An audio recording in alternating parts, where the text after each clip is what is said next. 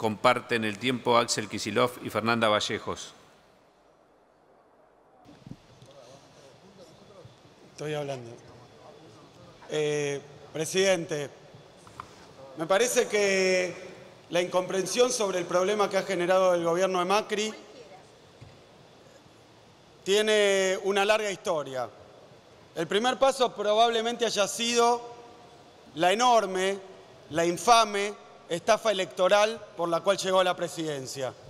Macri prometió a troche y moche que no iba a haber tarifazos.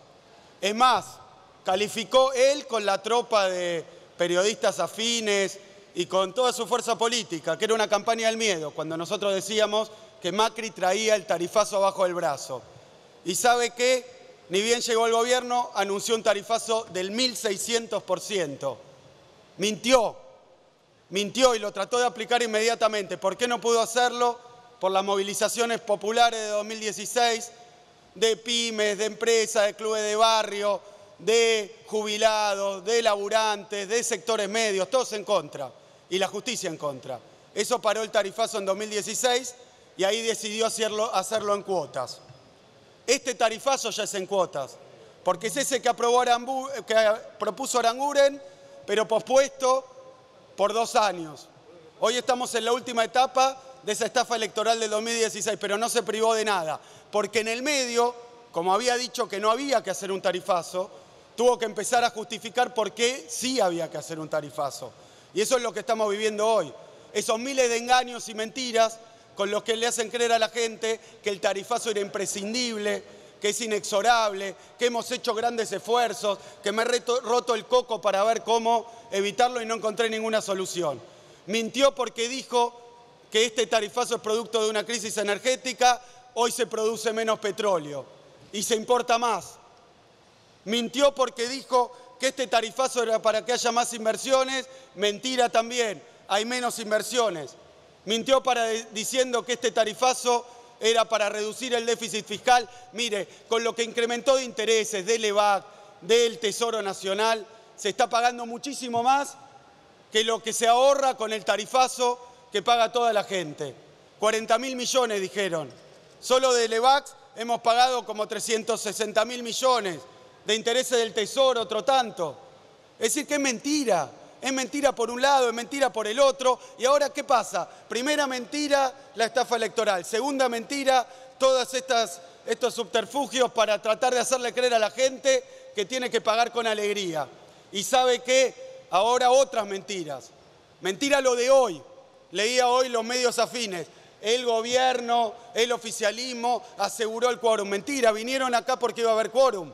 Vinieron para bloquear los dos tercios y que con el quórum que tiene la oposición, con proyecto único, se pueda votar a favor de la gente. Vinieron de nuevo a piquetear contra la gente. Eso es lo que están haciendo, contra la gente todo el tiempo. ¿Y qué se expresó? La calle con la marcha de las velas, la calle con el ruidazo, este parlamento con toda la oposición junta. Ojalá muchas veces pudiéramos hacer esto, porque con la oposición toda junta le paramos la mano al gobierno. Pero esta vez estamos listos y ahí están, demorándolo de nuevo, no citando a la comisión, impidiendo que se trate. Ahí estamos de nuevo, sin quórum, sin los dos tercios. ¿Y qué es lo que hicieron en el medio? Otra puesta en escena. Una no, dos.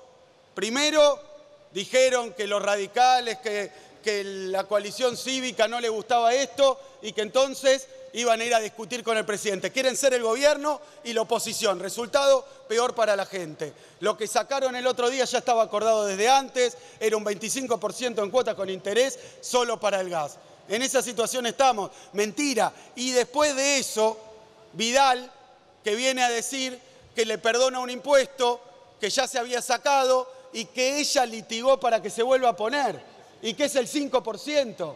Es decir, tarifa de 100 pasó a 1.500 y ahora le descuentan 60, 70 pesos y dicen que ustedes solucionaron con las cuotas, que ustedes solucionaron con este descuento de Vidal. No es así, es mentira, tercera mentira. Y el tarifazo, la única verdad de todo esto, la única verdad con todas las mentiras que mete el gobierno, es que el tarifazo lo hicieron y que las acciones de las energéticas, me demoro en esto un segundo, Petrobras se multiplicó por cuatro, la acción. Se multiplicó la de TGS por 4, la de TGN por 7,5, Transener por 6, Gasban por 3,7, Denor por 4,5, Pampa por 3,6. Sí, señores, el que tenía acciones es siete veces más rico, cinco veces más rico y todos los demás muchísimo más pobres. Y resulta que los accionistas de estas empresas o los dueños son amigos, socios y familiares del presidente Macri. Entonces esto es muy claro, le están sacando a la gente y le están dando a la runfla que forma parte de esta alianza gobernante. Muchísimas gracias. Gracias, señor diputado.